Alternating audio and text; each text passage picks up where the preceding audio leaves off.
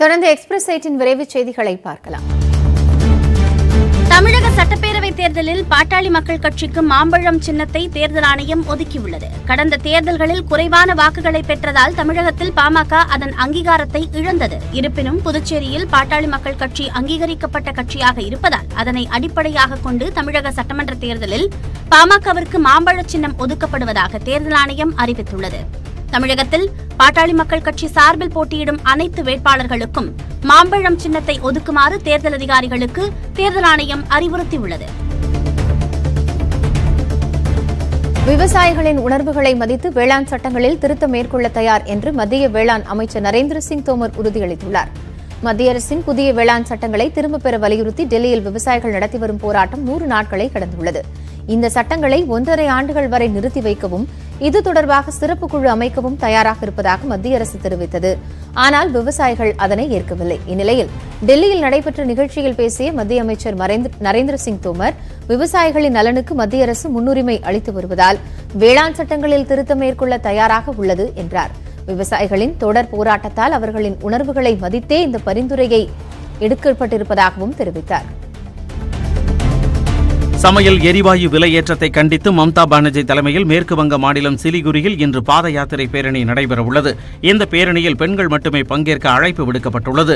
பேரணி குறித்து செய்தியாளர்களிடம் பேசிய அமைச்சர் சந்திரிமா பட்டாச்சாரியா சமையல் எரிவாயு விலையேற்றத்தால் மாநிலத்தில் உள்ள ஒவ்வொரு பெண்ணும் சிரமப்படுவதாக கூறினார். மேலும் மாநிலத்தில் பெண்களுக்கு பாதுகாப்பு இல்லை என சில கட்சியினர் பேசுவதாகவும் ஆனால் மேற்கு வங்கத்தில் பெண்களுக்கு சிறப்பான முறையில் பாதுகாப்பு இருப்பதாகவும் இரண்டாயிரத்து பதினொன்றில் மம்தா பானர்ஜி ஆட்சி அமைந்த பிறகு கருவுற்ற பெண்களின் இறப்பு விகிதம் குறைந்துள்ளதாகவும் சந்திரிமா தெரிவித்துள்ளார். திருப்பூரில் நடைபெற்ற ஆணழகன் போட்டியில் வீரர்கள் ஒவ்வொருவரும் தங்களது கட்டுமஸ்தான உடலமைப்பை காட்டி பார்வையாளர்களை கவர்ந்தனர். மாவட்ட அமைச்சூர் சங்கம் சார்பில் மிஸ்டர் திருப்பூரை தேர்ந்தெடுப்பதற்கான போட்டி நடத்தப்பட்டது. இதில் ஐம்பது முதல் எண்பது கிலோ இடைப்பிரிவில் நூற்றுக்கும் மேற்பட்டோர் கலந்து கொண்டனர். அப்போது ஒவ்வொருவரும் தங்களது உடற்கட்டின் தனித்துவத்தை பிரதிபலிக்கும் நோக்கில் தசைகளை அசைத்து காட்டினர். இதில் வெற்றியாளருக்கு மிஸ்டர் திருப்பூர் பட்டம் சூட்டப்பட்டதுடன் போட்டியில் பங்கேற்ற அனைவருக்கும் ஆறுதல் பரிசு வழங்கப்பட்டது. கன்னியாகுமரி மாவட்டத்தில் நூறு சதவிகித வாக்குப்பதிவை வலியுறுத்தி பாராகிளைடிங் மூலம் சாகச விழிப்புணர்வு நிகழ்ச்சி நடைபெற்றது. தமிழக சட்டப்பேரவை தேர்தலையொட்டி பல்வேறு விழிப்புணர்வு நிகழ்ச்சிகளில் அதிகாரிகள் தீவிரமாக ஈடுபட்டு வருகின்றனர். அதன் ஒரு பகுதியாக விழிப்புணர்வு பாராகிளைடிங் சாகச நிகழ்ச்சி கன்னியாகுமரியில் உள்ள சன்செட் பாயிண்ட் பகுதியில் நடைபெற்றது. இதில் மாவட்ட ஆட்சியர் அரவிந்த் பாராகிளைடிங் மூலம் ஆகாயத்தில் பறந்தபடி துண்டு பிரசுரங்களை பறக்கவிட்டார் இந்த நிகழ்ச்சியில் மாணவர்கள் ஏராளமானோர் கலந்து கொண்டு பாராகிளைடிங் மூலம் வானில் பறந்து விழிப்புணர்வை ஏற்படுத்தினர்.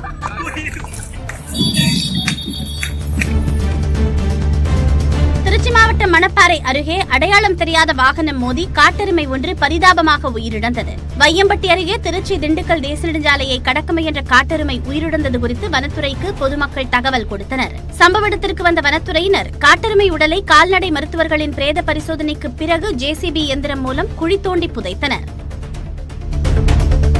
மதுரை விமான நிலையத்தின் சிறப்புகள் குறித்து நடிகை ஷாம்னா ஹாசன் பேசிய வீடியோ சமூக வலைதளங்களில் வைரலாகி வருகிறது.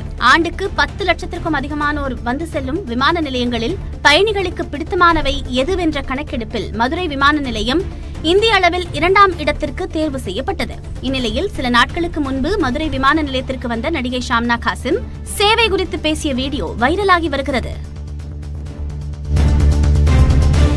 டெல்லியில் புதிதாக பள்ளி கல்வி வாரியம் அமைக்க மாநில அமைச்சரவை கூட்டத்தில் ஒப்புதல் அளிக்கப்பட்டுள்ளது. டெல்லியில் உள்ள பெரும்பாலான பள்ளிகள் சிபிஎஸ்இயின் கீழ் இயங்குவதாகவும் பாடங்கள் புரியாமல் மதிப்பெண்களுக்காக மட்டுமே மாணவர்கள் படித்து வருவதால் பிற்காலத்தில் வேலைவாய்ப்பு கிடைப்பதில்லை என்றும் அரசு கருதியது. இதனை மாற்ற திட்டமிட்டு டெல்லி பள்ளி கல்வி வாரியத்தை உருவாக்க புதிதாக குழு ஒன்றை அரசு அமைத்துள்ளது. புதிய வாரியத்தில் வழக்கமான ஆண்டு தேர்வுக்கு பதிலாக மாணவர்களின் தனித்திறமையை தொடர்ந்து அடையாளம் காண முயற்சி மேற்கொள்ளப்படும் என்று தெரிவிக்கப்பட்டுள்ளது. மாணவர்கள் பள்ளி படிப்பை முடித்ததும் சொந்த காலில் நிற்கும் வகையில் வேலைவாய்ப்பு சார்ந்த படிப்புகளை அறிமுகம் செய்யவும் வாரியம் திட்டமிட்டுள்ளது. முதற்கட்டமாக இருபத்தி ஐந்து பள்ளிகளும் அடுத்த நான்கைந்து ஆண்டுகளில் அனைத்து பள்ளிகளையும் சிபிஎஸ்இயில் இருந்து நீக்கி இந்த வாரியம் சேர்க்க கெஜ்ரிவால் அரசு திட்டமிட்டுள்ளது. மத்திய பிரதேச மாநிலம் ஜபல்பூரில் நர்மதை நதியில் குடியரசுத் தலைவர் ராம்நாத் கோவிந்த் ஆரத்தி எடுத்து வழிபாடு நடத்தினார். மத்திய பிரதேசத்திற்கு இரண்டு நாள் பயணமாக வந்த குடியரசுத் தலைவர் ராம்நாத் கோவிந்தை ஆளுநர் ஆனந்திபென் பட்டேல் வரவேற்றார். நீதித்துறை சார்ந்த கருத்தரங்கை தொடங்கி வைத்து பேசிய ராம்நாத் கோவிந்த் நீதிமன்ற நடவடிக்கைகளை எளிமையாக்குவதுடன் வழக்குகளை விரைந்து முடிக்க கவனம் செலுத்த வேண்டும் என்று கேட்டுக்கொண்டார். அதன் பிறகு ஜபல்பூரில் நர்மதை நதிக்கரையில் நடைபெற்ற ஆரத்தி நிகழ்ச்சியில் ராம்நாத் கோவிந்த் ஆனந்தி பென் பட்டேல் மாநில முதலமைச்சர் சிவராஜ் சிங் சௌகான் உள்ளிட்டோர் பங்கேற்றனர்.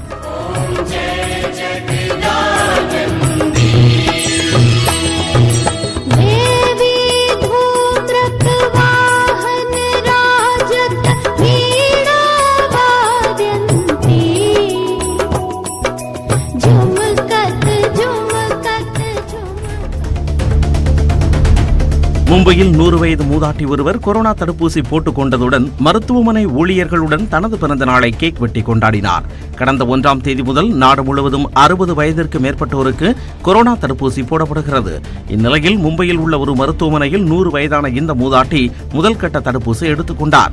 இதேபோன்று நாக்பூரில் உள்ள மருத்துவமனையில் ஆர்எஸ்எஸ் தலைவர் மோகன் பகாவத் மற்றும் பொதுச் செயலாளர் சுரேஷ் ஜோஷி கொரோனா தடுப்பூசி போட்டுக் கொண்டனர்.